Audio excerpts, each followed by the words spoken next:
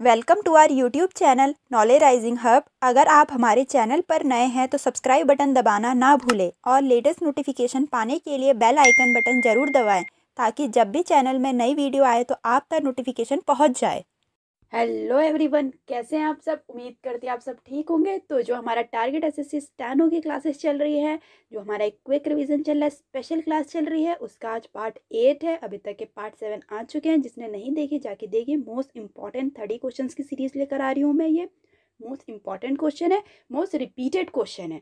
ठीक है जो आपके लिए बहुत हेल्पफुल होंगे आपके आने वाले एग्ज़ाम के लिए। तो चलिए, ज़्यादा समय ना लेते हुए वीडियो स्टार्ट करते हैं। So the first one is which of the following is not an Vedang निम्नलिखित में से कौन वेदांग नहीं है? पहले मैं बता देती हूँ वेदांग क्या है? वेदांग हिंदू धर्म के छह सहायक विषय हैं। छह विषय होते हैं इसमें, जो प्राचीन काल में विकसित हुए थे और वेदों के अध्ययन से जुड़े हुए थे। अब ये छह कौन कौन से थे? एक था शिक्षा, ठीक है? एक था शिक्षा, फिर था कल्प, ठीक? कल्प, फिर था व्याकरण, ठीक? फिर था निरुक्त निरुक्त फिर था छंद ठीक छंद, फिर था ज्योतिष। ठीक है, ये सारे इसके छह विषय थे। ठीक है, देखो मैंने क्या क्या बोला? शिक्षा शिक्षा है इसमें, दे रखा है। शिक्षा इसका विषय है। कल्प, ये भी है, कल्प भी है। ठीक है, निरुक्ता निरुक्ता भी था। ठीक है, निरुक्ता भी था। व्याकरण है, छंद है, ज्योतिष है। तो कौन सा नहीं है? पूर्व मीमांसा नहीं है। ठीक है, पूर्व मीमांसा इसमें पूछ रहेगा कौन सा वेदांग नहीं है? तो पूर्व मीमांसा नहीं है, ठीक है, और पूर्व मीमांसा क्या है फिर? पूर्व मीमांसा एक हिंदू फिलोसफिकल टेक्स्ट है, जो कि ऋषि जैमिनी ने लिखी थी, ठीक है, और ये वेदांग के अंदर नहीं आता है, वेदांग के अंदर छह सब्जेक्ट्स आते हैं, ठीक? So the next one is small bead like structure inside the ovary of flower called फूल के अंडाशय के अंदर छोटे मन के जैसी संरचनाओं को क्या कहते हैं? ठीक है? फूल के अंदर जो छोटे होते हैं ना, छोटे बीड लाइक स्ट्रक्चर होते हैं, उनको क्या बोलते हैं? उनको बोलते हैं ओव्यूल्स क्या बोलते हैं? ओव्यूल्स ठीक? So the next one is the great Asian river Mekong does not run through great Asia river Mekong कहाँ से होकर नहीं बहती है? अब पहले मैं बताती हूँ कहाँ से बहती है। ये जो मैंगकोंग है, ये दक्षिणी पूर्वी एशियाई की एक प्रमुख नदी है, ठीक है? और मैंगकोंग को चीन में लकांग के नाम से भी जानते हैं। किसके नाम से? लैकोंग के नाम से, ठीक है? लैकोंग के नाम से जानते हैं। अगर कभी ऐसा क्वेश्चन आ गया कि चीन में किस नाम से जानते हैं तो आपके पास होना चाहिए ये। और चीन के यूनान प्रांत से होकर गुजरती है, म्यांमार और लुआस के सीमा बनाती है, और लुआस और थाईलैंड के बीच अधिकांश सीमा बनाती है। किस किस का बताया मैंने? म्यांमार ठीक है, म्यांमार और लाओस के बीच में और लाओस और थाईलैंड के बीच में, ठीक है? और कंबोडिया, दक्षिण वियतनाम, इन जगह से होके ये बहती है। चाइना से भी बोल दिया मैंने, कंबोडिया भी बोल दिया, लाओस भी बोल दिया मैंने, ठीक है? वियतनाम भी बोल दिया मैंने, थाईलैंड भी बोल दिया।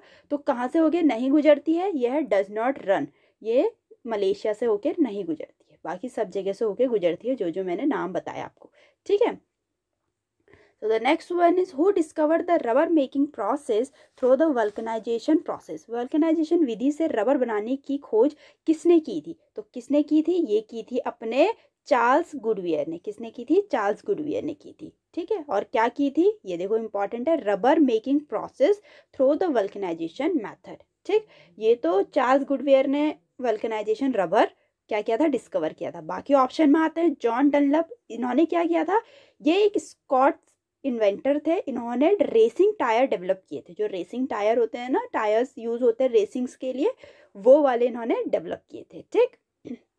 नेक्स्ट है मैकमिलन मैकमिलन ने क्या किया था? मैकमिलन ने किया था, ये एक रिनॉट पब्लिशर थे, इन्होंने मैकमिलन और को कंपनी स्टार्ट की थी, ठीक है? न्यूटन न्यूटन तो आपको पता है फिजिशियन थे, इन्होंने लॉ ऑफ़ मोशन क्या किया था? डिस्कवर किया था, ठीक? So the next one is on the basis of which phenomena does the jet engine work jet engine किस परिघटना के आधार पर कार्य करता है? तो किसके आधार पर कार्य करता है? कंजर्वेशन ऑफ़ लीनियर मोमेंटम के आधार पे। किसके? कंजर्वेशन ऑफ़ लीनियर मोमेंटम के आधार पे जेट इंजन वर्क काम करता है, ठीक? So the next one is Ashok का बुद्धिज्म अशोका ने बौद्ध धर्म कब ग्रहण किया?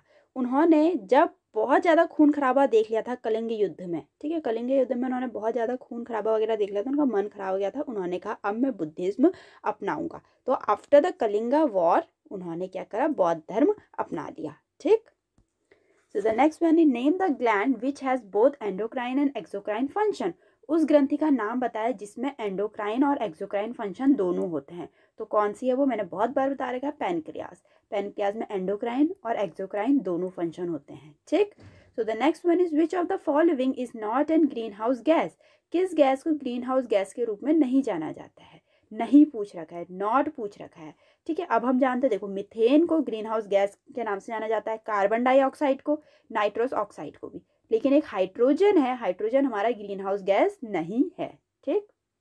Next one is which among the following is produce using Haber process निम्नलिखित में से कौन हैबर प्रोसेस का उपयोग करके उत्पादित किया जाता है? तो कौन सा यूज़ किया जाता है? अमोनिया ठीक है? Ammonia is produce using Haber process और ये प्रोसेस किसने डेवलप की थी? फ्रिट्स हैबर ने। तो उसी के नाम पर उन्होंने अपना डाल दिया हैबर प्रोसेस फ्रिट्स हैबर ने डेवलप की थी और इसके लिए इनको नोबेल प्राइज मिला था केमिस्ट्री में 1918 में। ठीक है? इंपॉर्टेंट है, आ सकता है। अब इस बार अगर आपका ये पूछ लिया कि अमोनिया में यूज़ किया जाता है हैबर प्रोसेस तो अगली बार आपका इनका नाम पूछ लिया जा सकता है साइंटिस्ट का। ठीक? Next one is in which region does rainfall occur throughout the year words भर वर्षा किस क्षेत्र में होती है? तो किस क्षेत्र में होती है? इक्वेटोरियल रीजन में वर्ष भर, पूरे साल भर वहाँ पर वर्षा होती है, ठीक है? जो भूमध्य रेखीय रीजन होते हैं वहाँ पर। The next one is which one of the following is not a major component of biotic environment निम्नलिखित में से कौन सा जैविक पर्यावरण का प्रमुख घटक नहीं है? तो जो बायोटिक इन्वायरमेंट है, उसमें लिविंग फैक्टर्स आते हैं सारे। जैसे एनिमल्स हो गए, हम ह्यूमन बींग्स हो गए, सारे जितने लिविंग फैक्टर है, ठीक है? जैसे प्लांट हो गए, ये सब आते हैं। प्लांट्स में भी तो जान होती है ना, सारे लिविंग फैक्टर और जो ए बायोटिक इन्वायरमेंट होते हैं, उसमें नॉन लिविंग फैक्टर्स आते हैं, जैसे वाटर हो गया, पानी नॉन लिविंग है, ठीक है, सारे. तो इसमें हमने, इसमें पूछ रखा नॉट नॉट पूछ रखा है कि बायोटिक कंपोनेंट कौन सा नहीं. देखो प्लांट बायोटिक है एनिमल बायोटिक है कंपोजर बायोटिक है, ये सारे बायोटिक है. लेकिन वाटर बायोटिक नहीं है वाटर ए बायोटिक है. तो यहाँ पर इसका सही ऑप्शन क्या आ जाएगा? वाटर ठीक है, क्योंकि नॉट पूछ रखा है. क्वेश्चन भी पूरा पढ़ लिया करो. ठीक? So, the next one is to which political party did Chakravarti Raja Gopalchari belong to at the same time of his demise? चक्रवर्ती राजगोपालचारी के निधन के समय उनका संबंध किस राजनीतिक दल से था? ठीक है? और इनका किससे था? स्वतंत्र से था। ठीक है? और ये स्वतंत्र कब से, कब तक एग्जिस्ट हुई थी? 1959 से 1974 तक एग्जिस्ट हुई थी। ठीक है? और जो कि चक्रवर्ती राजा गोपालचारी ने ही फाउंड की थी यही इसके फाउंडर थे और ये 1959 से 1974 तक चली थी और ये राजनीतिक दल इसी से रिलेट करते हैं, चक्रवर्ती गोपालचार्य स्वतंत्र से, ठीक? तो the next one is which of the following protein is found in hair बालों में कौन सा प्रोटीन पाया जाता है? तो कौन सा प्रोटीन पाया जाता है? कैरेटिन कौन सा पाया जाता है? कैरेटिन प्रोटीन बालों में पाया जाता है, ठीक? So the next one is what kind of data you can send by email email से आप किस टाइप का डेटा भेज सकते हैं? आप ऑडियो भेज सकते हैं, आप वीडियो भेज सकते हैं, आप पिक्चर्स भेज सकते हैं, आप सब कुछ भेज सकते हैं ईमेल से ना? फ़ाइल अटैच करके सब कुछ भेज सकते हैं। तो इसमें क्या ऑप्शन आ गया? ऑल ऑफ़ दीज आ गया। ठीक? So the next one is who was the first scientist to be awarded two Nobel prizes दो नोबल पुरस्कार से सम्मानित होने वाले पहले वैज्ञानिक कौन थे? तो कौन थे? मैरी क्वेरी कौन थे? मैरी क्वेरी एकमात्र ऐसे थे जिनको दो नोबल प्राइज मिला। ये तो मिला दो नोबल प्राइज, लेकिन दोनों अलग अलग फ़ील्ड में मिला। इनको फिजिक्स में 1903 में मिला, ठीक है? और केमिस्ट्री में 1911 में मिला। एकमात्र ऐसे ये कौन बन गए? पहले साइंटिस्ट बन गए मैरी क्वेरी जिनको दो अलग अलग सब्जेक्ट में नोबल प्राइज मिला, ठीक?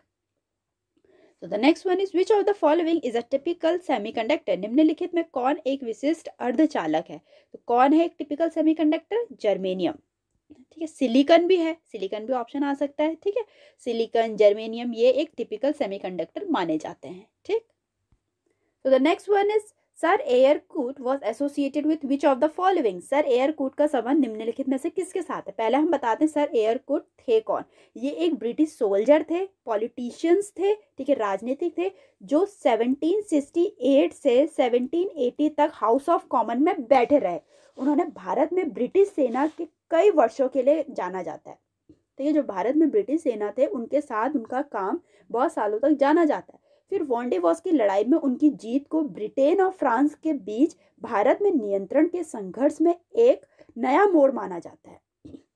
किसमें बोला मैंने? वॉन्डेवॉस के युद्ध में। तो इसका रिलेट किससे है? बैटल ऑफ़ वॉन्डेवॉस से, ठीक है?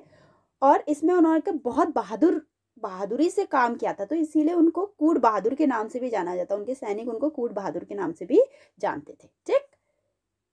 तो the next one is who gave the slogan Delhi चलो दिल्ली चलो का नारा किसने दिया? तो किसने दिया था? नेताजी सुभाष चंद्र बोस जी ने बोला था दिल्ली चलो। ठीक? तो the next one is In the 1950 and 60, which country people were severely affected by mercury pollution related disease?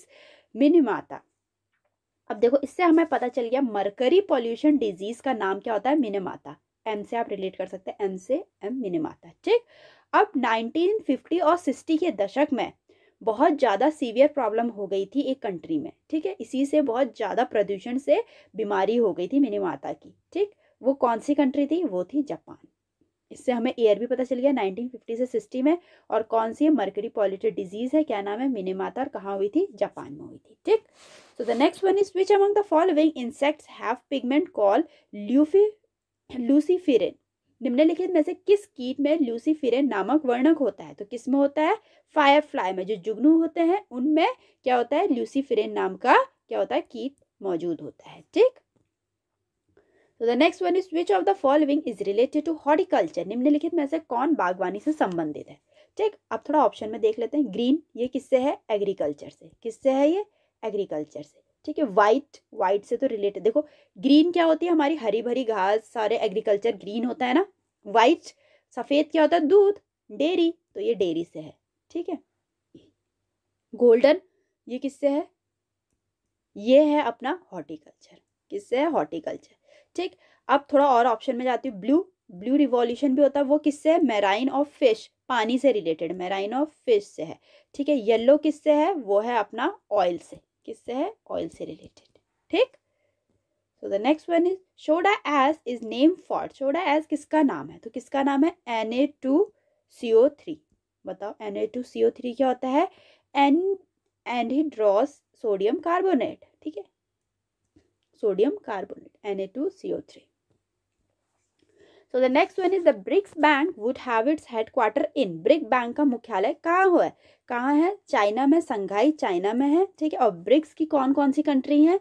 B से ब्राज़ील आर से रसिया, आई से इंडिया, सी से चाइना, एस से साउथ अफ्रीका। ठीक है? हो गया याद?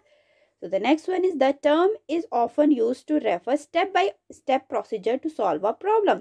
किस समस्या को हल करने के लिए चरण दर, चरण प्रक्रिया को संदर्भित करने के अक्षर डैश शब्द का प्रयोग किया जाता है।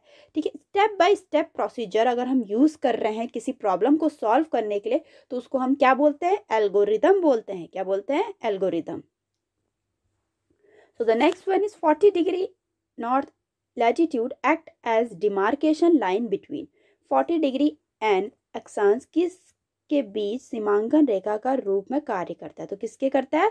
नॉर्थ एंड साउथ वाइटनिम के। ठीक है? और इसको सेवनटीन्थ पैरल लाइन भी बोलते हैं। कभी सेवनटीन पैरल लाइन आ गया तो आप कंफ्यूज मत होना। ठीक है? फोर्टी डिग्री नॉर्थ लैटिट्यूड को सेवनटीन पैरल लाइन भी बोलते हैं। ठीक? थोड़ा ऑप्शन में आ जाते हैं। अब है नॉर्थ एंड साउथ कोरिया। इसको क्या बोलते हैं? Thirty eighth parallel line. क्या बोलते हैं? Thirty eighth parallel line. ठीक? यूएस एंड कनाडा इसको क्या बोलते हैं? फोर्टी नाइन्थ पैरल लाइन बोलते हैं। इन दोनों के बीच जो भी डिमार्केशन लाइन होती है, उसको फोर्टी नाइन बोलते हैं और नॉर्थ एंड साउथ कोरिया की थर्टी एट्थ बोलते हैं और जो फोर्टी डिग्री लैटिट्यूड होता है सेवनटीन पैरल लाइन, वो हमारा नॉर्थ एंड साउथ वाइटानिम के बीच में है। ठीक?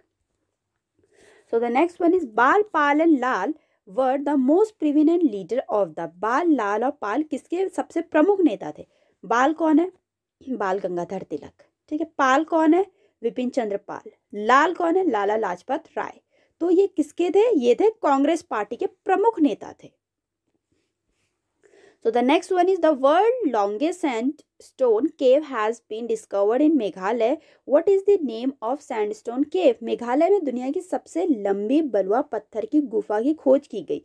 उस बलुआ पत्थर की गुफा का नाम क्या था? ठीक है? तो क्या नाम था? सैंडस्टोन केव है और कहाँ पर है? मेघालय में। से हमें पता चल गया, मेघालय में है। किससे बनी हुई बलुआ पत्थर की एक गुफा है? तो उस गुफा का नाम क्या था? क्रेमपुरी क्या था? क्रेमपुरी ठीक है? और इस कितनी लंबी है? Twenty four thousand five eighty three meter long है ये, गुफा, ठीक? कहाँ पर है? मेघालय में। The next one is, which of the following is not used as moderator in nuclear reactor? निम्नलिखित में से किसे, किसका उपयोग परमाणु रिएक्टर में मॉडरेटर के रूप में नहीं किया जाता है? नहीं पूछ रहा है नॉट यूज़ तो किसका नहीं किया जाता है? बोरोन का नहीं किया जाता है। किसका नहीं किया जाता है? बोरोन का, ठीक? So the next one is in which of the following year Bharat Nirman Yojana was launch निम्नलिखित में से किस वर्ष भारत निर्माण योजना शुरू की गई थी? तो किस वर्ष की गई थी? 2005 में। कब की गई थी? 2005 में की गई थी भारत निर्माण योजना ठीक? और इसका मेन फोकस क्या था? कंट्री के जो रूरल पार्ट्स हैं, उसमें road housing irrigation electricity communication को डेवलप करना था। भारत निर्माण से ही पता चल रहा है निर्माण करना। और ये 2005 में लॉन्च की गई थी। ठीक? So, the next one is, in MS Excel is a collection of rows and columns that hold text and number. MS Excel में डैश पंक्तियों और स्तंभों का एक संग्रह है, जिसे टेक्स्ट और नंबर होते हैं। ठीक है? तो उसको क्या बोलते हैं? रोज मतलब रोज है और कॉलम्स हैं, ठीक है? उसमें टेक्स होते हैं text something A B C and numbers होते हैं। तो उसको क्या बोलते हैं? ये पूरी चीज़ को वर्कशीट क्या बोलते हैं? वर्कशीट ठीक? तो यहाँ तक के तीस मोस्ट इंपॉर्टेंट क्वेश्चन थे, जो कि बहुत बहुत ही इंपॉर्टेंट क्वेश्चन है। मोस्ट क्वेश्चन है मोस्ट प्रीवियस ईयर के क्वेश्चन है रिपीटेड क्वेश्चन है। आपके लिए काफ़ी हेल्पफुल होंगे, ठीक है? तो चलिए मिलते हैं अपनी ऐसी नेक्स्ट वीडियो में।